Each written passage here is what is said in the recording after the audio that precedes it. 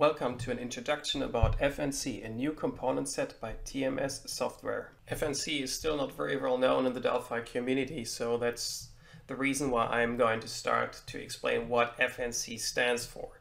FNC stands for Framework Neutral Controls. That means if you develop an application, you can develop for multiple platforms in multiple frameworks and you still use the same components. Without FNC, the picture looks like this.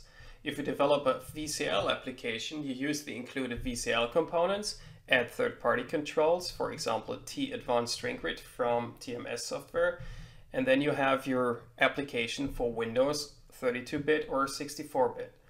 If you develop a FireMonkey application, you have to use the included FireMonkey components and add third-party components that have been created for FireMonkey, for example, the TTMS FMX grid. Furthermore, if you develop for Lazarus, you use the LCL components, which are included with Lazarus. However, there's only very limited number of third-party components available. So the key differences between all these frameworks are that you have to remember all the different properties, all the events, all the methods, all the different data types, and anything that deals with graphics is basically different in all the frameworks. With FNC, you can use the same components in every framework. What is exactly the same is the properties, the methods, and the events. Even the graphic code stays the same because FNC comes with its own graphics library. That means you will get the same look and feel on any framework and platform. And the best thing is, the controls can handle high DPI applications. In conclusion, you will have a single code base for your controls, and your applications because FNC controls are also extendable. That means you can write your own derived components based on FNC components that are already there, or you can write completely new FNC controls. Furthermore, you can mix FNC with existing VCL, FireMonkey, or Lazarus components. That means as soon as you pick FNC, it doesn't mean you have to restrict yourself to just using FNC controls. This also means no matter which platform you develop for, be it Windows, one of the mobile platforms, iOS or Android, be it Mac or even Linux or Raspbian, you know which properties and methods to use because it's always going to be the same method, the same property, and the same event, as long as you use FNC controls. So let's finish this video with a demonstration by showing a VCL and FireMonkey application in Delphi 10.2 Tokyo and also a LCL application using Lazarus 164. The demo is going to be pretty simple. I loaded a project group into Delphi with a VCL project and a FireMonkey project. Right now you see the VCL project. It has a button of type TTMS FNC button. That means it's the FNC control not the standard VCL control.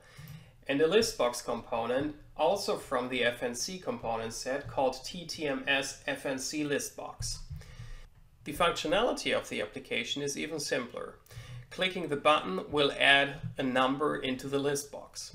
The source code of the application is pretty simple as well. We implemented two events.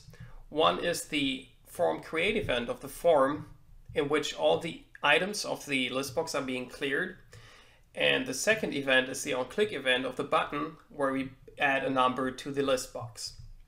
As you can see, the controls are pretty similar to what you're used to from the VCL. We have an items property in the list box and we have the method add and clear um, as we're used to from the VCL. Running the application, we can see that if we click the button, numbers are being added to the list box. Let's look at the FireMonkey application. You see that the form already looks similar at design time. Again, we have two components. One is the button and the other one is the list box. Notice that everything is absolutely exactly the same. The look and feel is the same and also the properties are the same. Looking at the source code is even more surprising.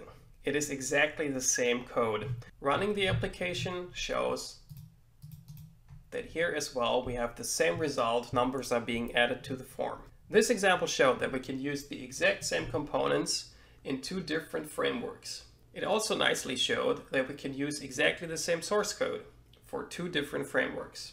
Of course, in FireMonkey, we're not restricted to Windows. We could also select macOS or any mobile platform was our target. Finally, let's have a look at the demonstration in Lazarus.